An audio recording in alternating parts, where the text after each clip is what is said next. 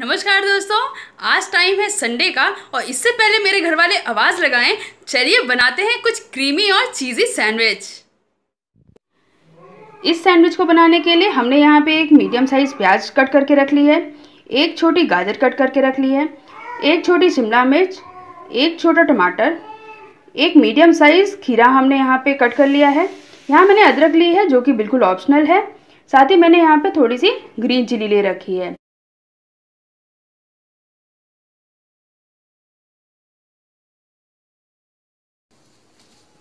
ये देखिए, हमारी सब्ज़ियाँ अच्छे से इसमें मिक्स हो गई हैं। यहाँ मैं फनी फूड्स का म्योनीज यूज़ कर रही हूँ, अब मैं इसे इसमें ऐड करूँगी।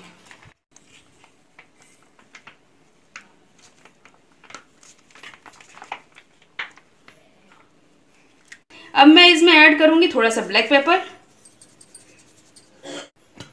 थोड़ा सा tomato sauce salt according to taste half teaspoon से भी कम रेड चिली यहाँ मेरे पास दो क्यूब चीज़ हैं, अब मैं इन्हें भी इसमें ग्रेट करके ऐड कर दूँगी। इसमें मैं ऐड करूँगी थोड़ी ऑरिगेनो सीजनिंग चलिए, अब अपने इस मिक्सचर को अच्छे से मिक्स कर लेते हैं। ये देखिए, हमारा मिक्सचर कितने अच्छे से बनके रेडी हो गया है और कितना कलरफुल है। ये बहुत हेल्दी भी है क्योंकि इसमें आपने कितनी सारी वेजिटेबल्स डाली हैं। आप इसे अपनी स्वेच्छा अनुसार चाहे तो कैबेज ऐड कर सकते हैं या फिर और कोई फ्रूट जो आप पसंद करते हैं, वो भी ऐड कर सकते हैं। चलिए, अब इसका सैंडविच बनाते हैं। यहाँ पर मैंने एक ब्रेड ले ली है।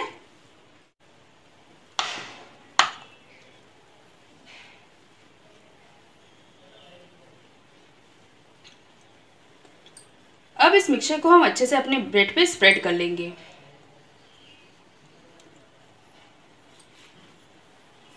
आप चाहें तो आप स्लाइस चीज़ भी ऐड कर सकते हैं। अगर आप ज़्यादा चीज़ खाना पसंद करते हैं तो। इस तरह से हम अपने सारे ब्रेड पे इसको अच्छे से लगा लेंगे। यहाँ मैंने अपने सैंडविच मेकर को हीट होने के लिए रख दिया है।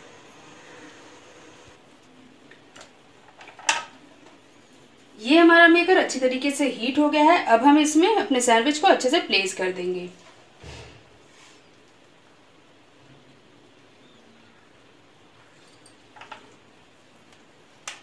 अब हम अपने मेकर को बंद कर देंगे ताकि ये अच्छे से बेक हो जाए। ये देखिए हमारा सैंडविच कितने अच्छे से बन के रेडी हो गया है कितना अच्छा गोल्डन ब्राउन हो गया है। अब हम करेंगे इसकी प्लेटिंग ये देखिए, हमारा टेस्टी ब्रेकफास्ट बनके रेडी हो गया है। आप चाहे तो इसे सॉस के साथ भी खा सकते हैं और चाहे तो प्लेन भी खा सकते हैं, क्योंकि हमने इसमें ऑलरेडी पहले से सॉस ऐड कर रखा है। हेलो फ्रेंड्स मैं अनु। इस सैंडविच में आप अपने मनपसंद की कोई भी वेजिटेबल डाल सकते हैं। इसे और भी ज़्यादा चीजी बनाने के लिए चीज़ स्लाइस भी डाल सकते हैं। अगर आपके पास सैंडविच मेकर मशीन नहीं है तो आप इसे तावे पे भी दोनों साइड स्लो फ्लेम में सेक करके कुक कर सकते हैं। अगर आपको हमारा ये वीडियो पसंद आया है तो इस वीडियो को लाइक करिएगा, ज़्यादा से ज़्यादा शेयर और सब्सक्राइब करिएगा। नमस्कार।